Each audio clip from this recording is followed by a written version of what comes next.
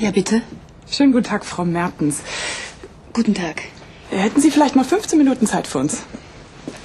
Ja, mir würde uns gerne mit Ihnen über Ihr Leben unterhalten. Ja. Oh mein Gott, Sie sind ja in gesegnete Umständen. Ja, aber darüber habe ich doch schon mit Ihrem Kollegen gesprochen. Ah, das ist ja wunderbar. Denn sind Sie ja bestens vorbereitet. Vorbereitet. Ja, durch die Broschüre. Ich habe keine Broschüre bekommen. Nett? Ne, das wundert mich jetzt aber. Äh, den kriegen Sie eine von uns jetzt. Äh, dürfen wir uns setzen? Eine Welt ohne Leiden ist nicht mehr fern. Ja, ja. Wenn wir nur die Gnade Gottes annehmen und nach seinen Regeln leben, dann ist uns das Paradies gewiss. Schon im Diesseits, also im irdischen Leben. Sie sind gar nicht vom Jugendamt. Na, wir sind Kinder Gottes genau wie Sie. Es geht um Sie und Ihre Zukunft und natürlich um die Ihres Kindes. Ich bin dem lieben Gott schon sehr, sehr, sehr nahe. Und wenn nachher mein Partner nach Hause kommt, dann werde ich das Paradies auf Erden hier in dieser Wohnung haben. Sie sind nett verheiratet? Nein, aber ich wüsste auch nicht, was Sie das angeht. Das heißt, Ihr Kind ist in Sünd gezeugt. Darf ich Sie bitten, jetzt Da zu gehen? können Sie und Ihr Kind uns nur sehr, sehr leid tun. Bitte. Ich würde mir das noch einmal überlegen.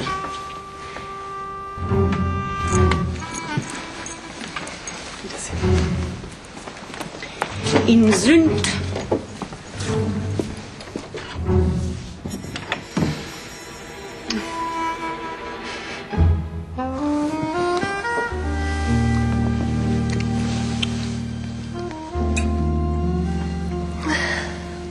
Hey, alles in Ordnung?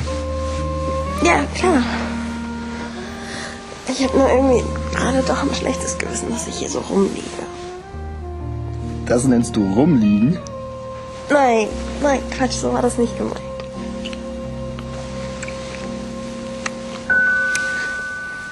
Erwartest du jemanden? Nein.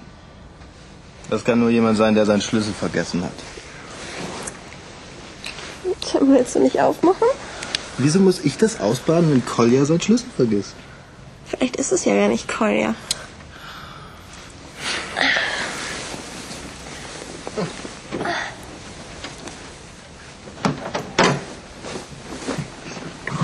Man gibt doch nicht gleich auf, wenn die Alte sagt, Miss Hallo? Schönen guten Tag. Guten Tag. Wie hätte sie vielleicht ein Viertelstündchen Zeit? Wir würden uns gern über ihr Leben mit Ihnen unterhalten. Mein Leben? Ja, wir möchten Ihnen den Weg in Gottes Paradies zeigen. Hallo. Ach, es geht um Gottes Paradies. Oh, ähm, wie ich sehe, sind Sie frisch verheiratet. Ähm, nö, wieso?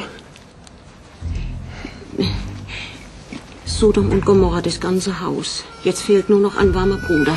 Das heißt, Sie lebe in Sünde. Ja, durchaus hin und wieder. Möchte sie vielleicht unsere Broschüre, die Broschüre, die Broschüre lese, was unser Herr zu voreheliche Sex sagt? Vielleicht interessiert Sie ja, was ich zu vorehelichem Sex sage. Das glaube ich kaum. Das ist nämlich ungefähr das Schönste, was man sich vorstellen kann. Geradezu paradiesisch. Ja, ich erkläre Ihnen gern, wie das funktioniert. Das ist gar nicht so schwierig. Man braucht einfach nur... Sie sind nicht allein. Wir helfen Ja, Ihnen. genau, Lesen Sie die. Broschüre, gehen Sie in sich. Denken Sie drüber nach. Wir kommen gern nächste Nein. Woche noch einmal. Wir sind Ihnen ewig dankbar, wenn Sie nie wiederkommen. Was war das denn? Ich meine, kein Sex vor der Silberhochzeit. Entschuldigung. Trotzdem hättest du sie ja nicht gleich so verarschen müssen. Na bitte, normalerweise hättest du es aber auch witzig gefunden, oder? Normalerweise? Wenn du nicht so Prüfungsstress hättest. Jetzt muss ich wirklich los. Oh, und was bitte ist mit unseren vorehelichen Sünden?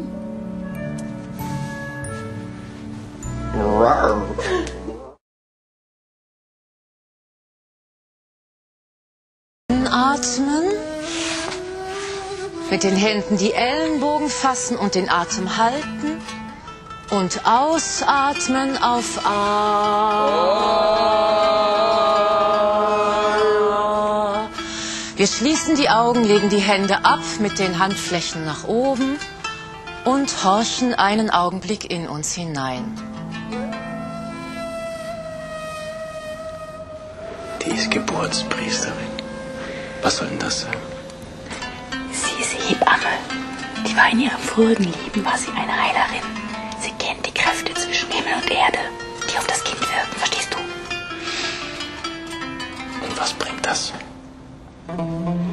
Sie hilft uns, damit das Kind mit einer wachen Seele auf die Welt kommt.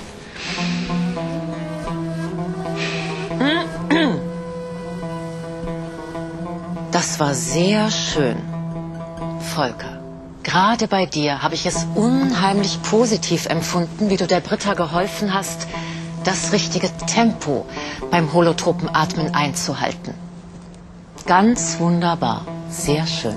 Ähm, Frau Friese, ich habe eine Frage. Oh, bitte, nenn mich bei meinem Sanskritnamen. Ananda.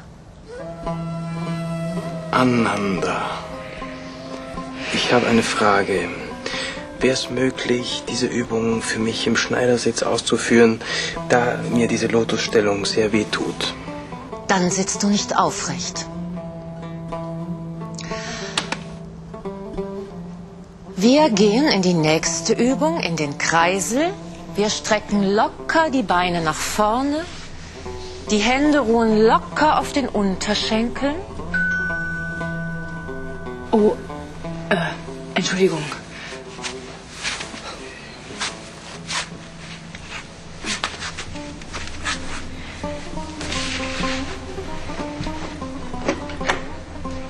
Herr Silke, ich wollte noch fragen, wo er bleibt. Ach, das, das tut mir jetzt leid, ich habe total vergessen. Du hast es vergessen. Ja, das tut mir leid. Ah, ich sehe schon.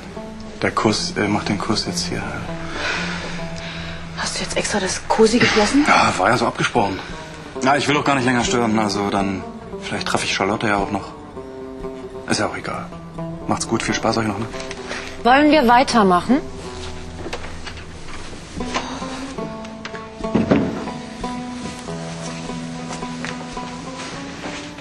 Und einatmen und im Becken kreisen und ausatmen auf A.